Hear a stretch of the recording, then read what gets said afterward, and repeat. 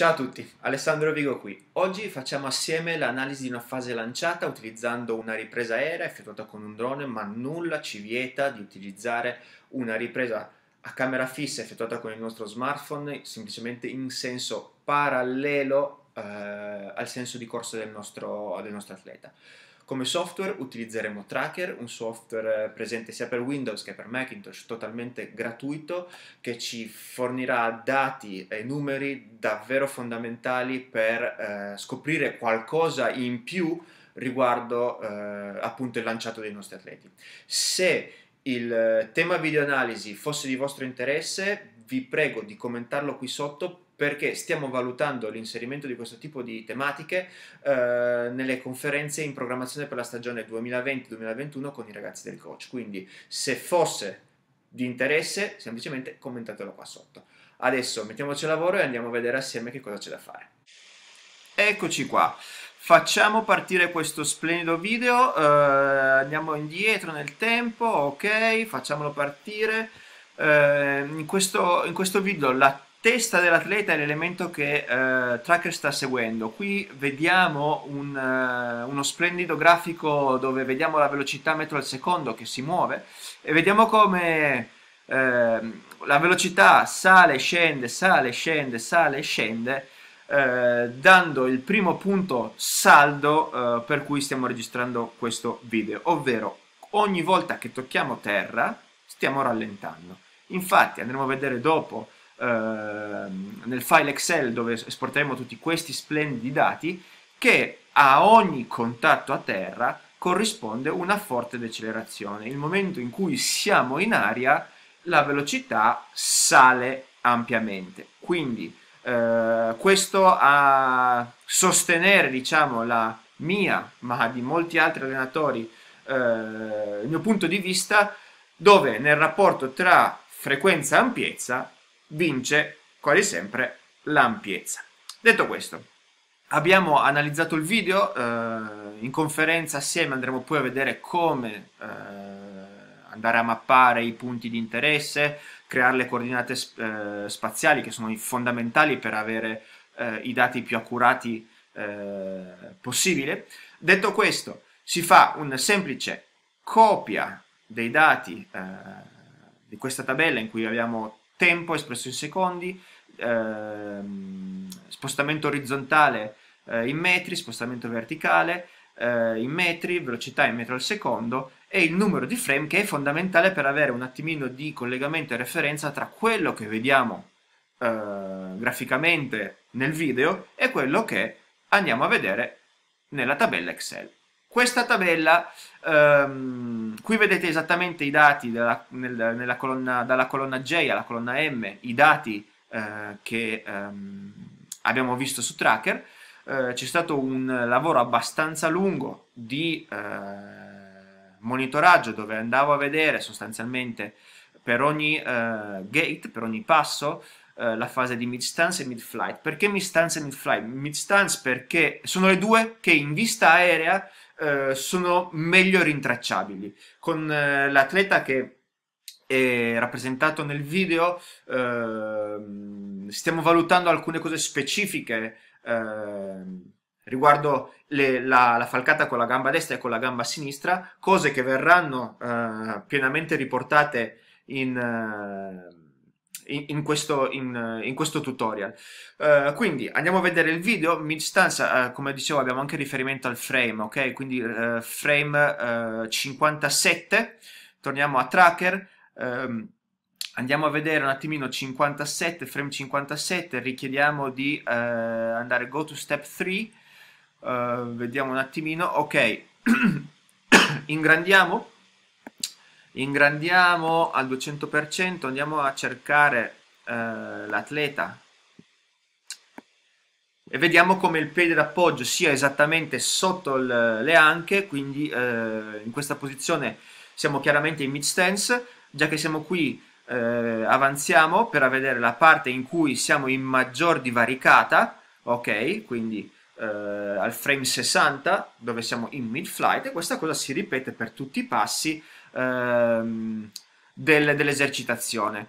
Eh, l'esercitazione era un 20 metri lanciato con 30 metri di preavvio, ok? Questo è un dato importante, lo vedete evidenziato qui, 20 metri, la griglia gialla ehm, rappresenta eh, quadrati da un, eh, un, metro quadrato in sostanza, ehm, questo è importante per capire eh, molto dei dati che andiamo a vedere di nuovo sul file Excel. Ok, quindi facendo questo lavoro di ricerca di mid-stance e mid-flight sono andato a... Ehm, diciamo, a mettere in altre colonne, dalla colonna E alla colonna I, cosa succede? Nel piede sinistro valori azzurri e nel piede destro valori eh, arancioni.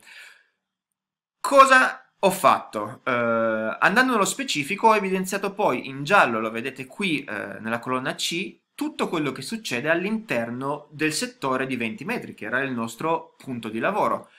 Eh, dato che non abbiamo un numero eh, pari perfetto di passi all'interno del settore, ho creato all'interno del settore dei 20 metri una referenza che è il settore grigio, che va dal, dalla riga 37 fino alla riga 87, in cui ho selezionato quattro passi eh, con appoggio sul piede sinistro e quattro con, eh, passi con appoggio sul piede destro. Eh, cosa eh, succede a questo punto? Andando a fare una semplice sottrazione, eh, andiamo a vedere come sottraendo eh, il principio e fine di quello che accade eh, da, mid da mid stance alla mid stance successiva sull'altro piede, andiamo sostanzialmente a vedere il tempo che occupa un, un gate. Eh, quindi vediamo che eh, questo passo eh, in tempo è durato 0,167 secondi, il seguente 0,200. In termini di metri facciamo la stessa cosa eh, andando a fare ehm, una sottrazione tra il punto di contatto della mid stance e il punto di contatto della mid stance antecedente e abbiamo quanto c'è stato di, di spostamento orizzontale per quel passo. La stessa cosa, come vedete, si ripete de, eh, sinistra destra, sinistra destra, sinistra destra, sinistra destra. Qual è il dato per me fondamentale? Andare a assicurarmi che innanzitutto i 20 metri siano corsi alla velocità massima, essendo un 20 metri lanciato.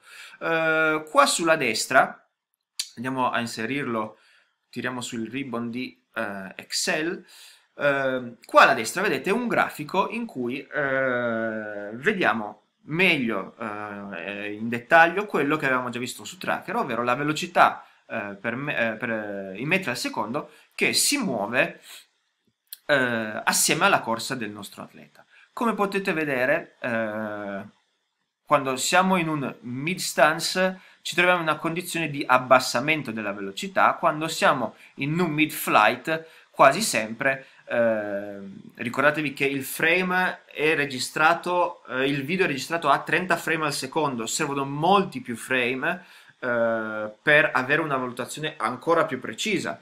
Detto questo, mi sembra che il grafico mi dia già informazioni molto importanti per capire che cosa stia succedendo.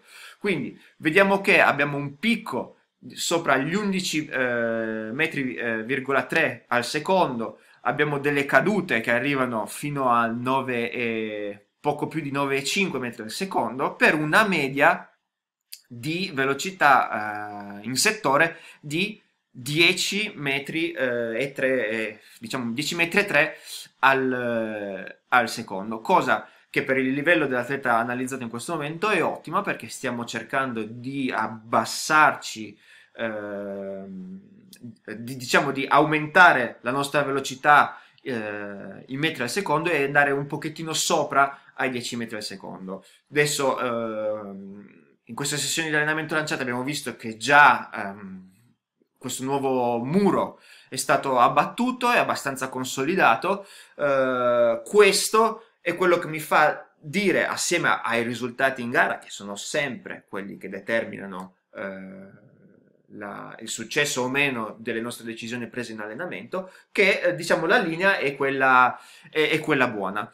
Um, vediamo da questo dato fondamentale di 10 metri, eh, 10 metri 3 al secondo cosa succede in media sui, eh, sui passi che abbiamo, sui quattro, sugli otto passi, 4 a destra, 4 a sinistra, che abbiamo analizzato eh, nella nostra eh, gate analysis eh, all'interno dei 20 metri.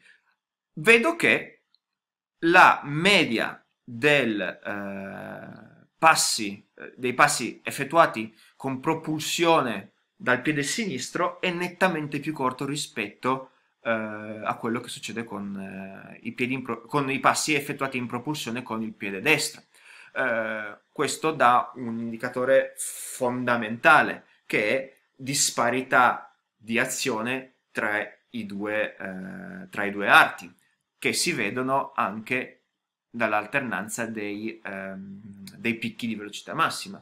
Eh, questa cosa si trasforma, eh, la differenza di fase di volo e di durata del gate eh, si eh, rispecchia pienamente nella media metrica con eh, il piede destro corriamo in appoggio col piede destro il, la, la, falcata è di 1,98 m con il piede sinistro di 1,73 m ci sono 24 cm di differenza che è un abisso questo è un, un'informazione molto importante che il mio occhio aveva captato in allenamento, ma non è stato in grado di mettere nero su bianco sul programma di allenamento. Quindi quello che vedete qua è, eh, diciamo, una trascrizione più precisa di quello che io in allenamento avevo intuito, ma ho bisogno fondamentale di avere dati nero su bianco e questa cosa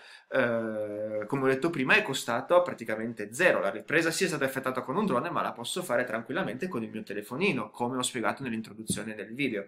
Quindi vedete come sì, c'è tempo dedicato a, a questo tipo di analisi, ma sono eh, più certo di affrontare il nuovo eh, programma di allenamento con informazioni spendibili in più.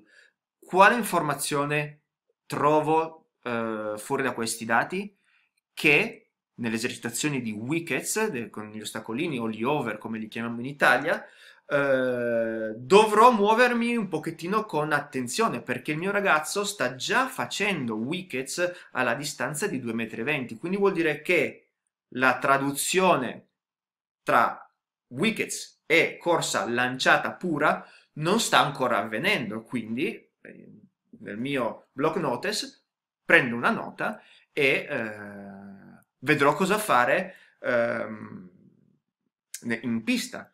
Cosa che sto pensando di fare? Aiutarmi con dei semplici cinesini eh, che non obblighino a modificare lo stile di corsa come i wickets per vedere, posizionandoli a una distanza che è quella che ho trovato quest'oggi, e vedere quali referenze effettivamente ci siano tra la realtà della pista e questa, eh, e questa tabella che mi sono creato ok? Quindi andando a, misco- a mescolare la tecnica dei wickets, degli over, a quello che effettivamente è il risultato in gara in corsa, eh, andare a cercare la misura per far effettivamente aumentare eh, la falcata di questo atleta che può già muoversi attraverso barriere a 2,20 m di distanza ma che non traduce nel momento in cui eh, deve correre libero.